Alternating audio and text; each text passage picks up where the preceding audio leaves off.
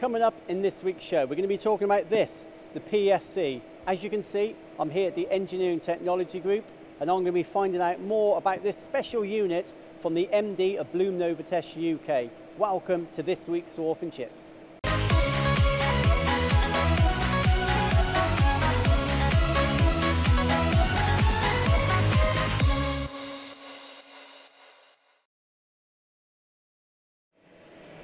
So David, the portable spindle control, the PSC, just quickly tell us what it is please.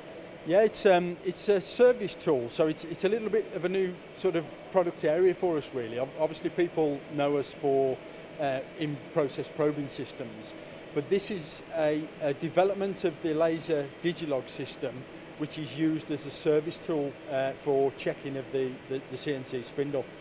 So just how does that look? What are we trying to look at? Are we looking to predict a breakage? Are we seeing that you know the spindle's 10, 20, 50% worn? Yeah, exactly that. It's the idea, obviously, for for a, a production company, a, a machining company, if they suddenly find that the spindle starts to fail and then dies pretty quickly, then that's it. The machine stops. You've lost all your production. What this is is a, a, a means of being able to annually or periodically, shall I say, inspect the spindle so you can see what the status is and we detect very early signs that the spindle is actually showing signs of being worn. So you can now um, plan into your production process to get some service activity done on the spindle and you don't lose production. And correct me if I'm wrong, it doesn't simply say it's good, it's bad, it's on its way out. It actually tells you what's wrong. Yeah, because of this is part of the Digilog family, so it's it's got the analog measurement input. So we're not only just measuring a beam shaded or not, we, we're measuring how much it's been shaded.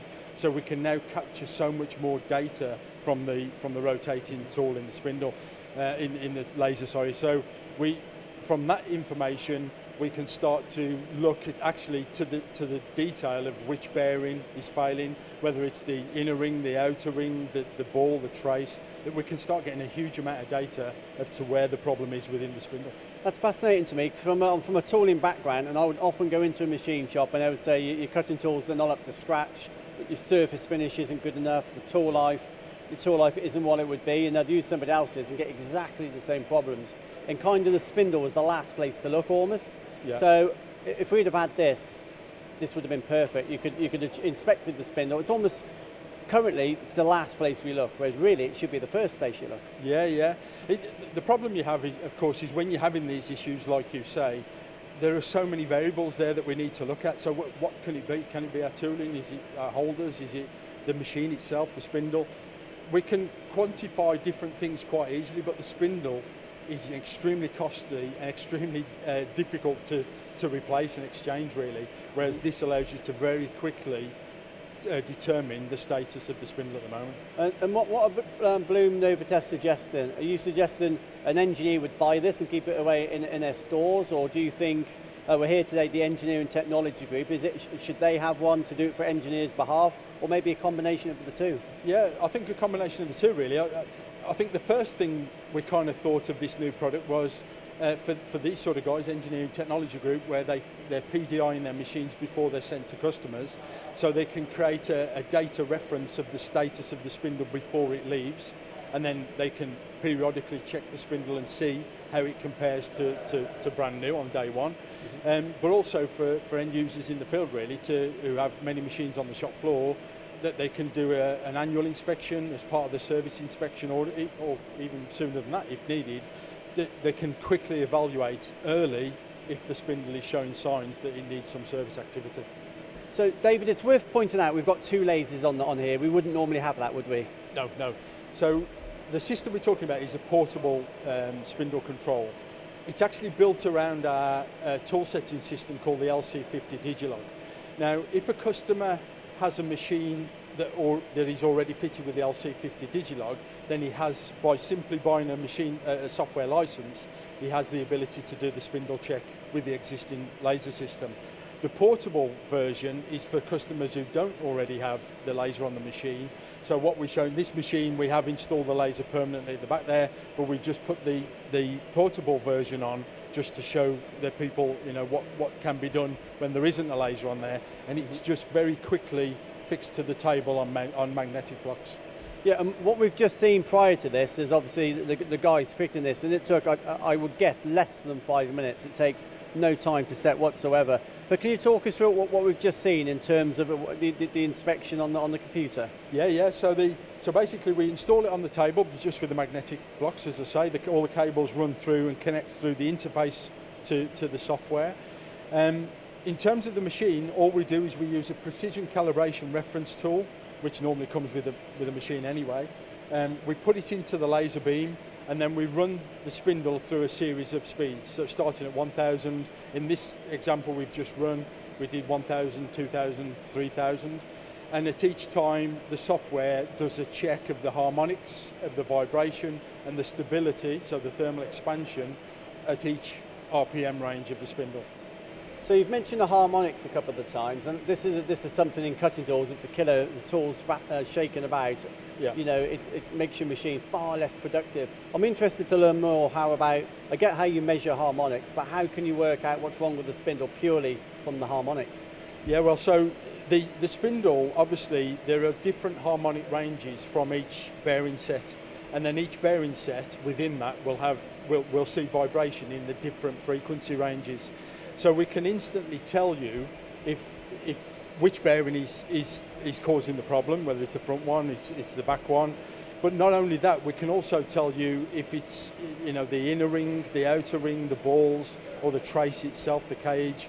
So by measuring each individual harmonic range, we can pinpoint quite accurately where which bearing is the problem and which part of the bearing is causing you the, the problem. Mm-hmm. It, in bearings, which whether we need to know whether the outer ring or the inner ring is going because spindles tend to last longer if the outer ring is, is causing the problem. Their life will be a little bit longer.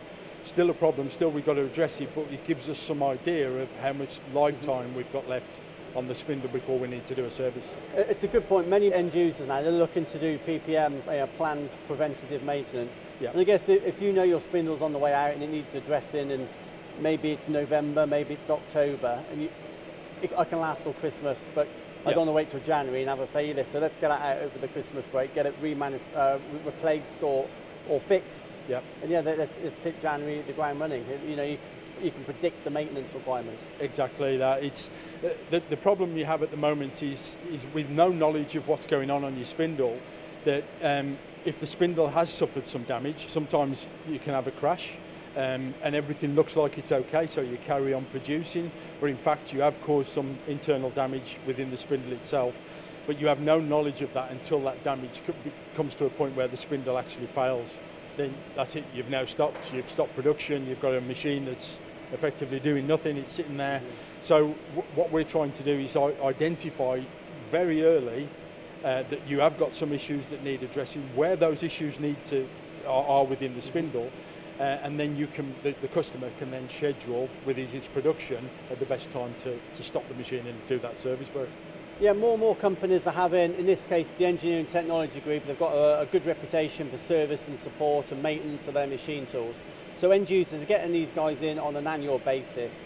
I guess the spindle, there's not a lot you can do because they're working blind, aren't they? Yeah. So if this was implemented into an annual service, um, it's almost like an MOT for a spindle, isn't it? Exactly that, exactly that. It, it, not only does it help the, the end user with, with regards to their uh, production planning of the machine, it also helps the service agents, you know, the ETG service guys, um, because they know well ahead of themselves which machines they've got to do some service work on. So they can also put it in their program a lot easier to, to, to accommodate all the service activity. So for the engineers watching at home, how are they going to learn more about this? Clearly, it, it look it, it, sounds particularly difficult. It's not. I'm, I'm seeing them install this. It's incredibly straightforward. So yep. how do people find out more? Both, you know, from an existing user's perspective, people who've already got the lasers, to uh, to new users. Well, certainly if they've, I mean, the, the contacts Blum UK. Um, we're here to, to sort of promote the product and to educate the customers in using the system. If they've already got um, a laser system on their machine tool, then basically it's a license, so they can contact us. We can uh, switch on the license for them at a price, of course, um, and then give them training on how to use it. Um, for the portable system, um, we can take it anywhere on any machine. It doesn't matter the control the type of machine, and we can demo the system for, for the customer. So any end users that have several machine tools on the shop floor, um, it could be a really useful tool, and we can go in, do a full demo, and they can see exactly what their status of their machines are at this moment and, mm-hmm. and, and where they are with their spindles. And finally, if they don't want to invest in it, is, is it a service you offer? You know, could, will Blum Novotest go in and do it for, on behalf of the end user? Uh, I think yes is the answer to that really. When we first introduced it as a new product, the idea was to sell it as a product. We've been talking to quite a few uh, end users. We've introduced it to the machine dealers, but we've talk, spoken to end users. And the one thing that's coming quite clear is that they would like it as a service. Um, so now we have to kind of rethink our strategy a little bit as to uh, do we actually use the system to offer a spindle check service for the customer. So that's definitely under our consideration at the moment, yeah.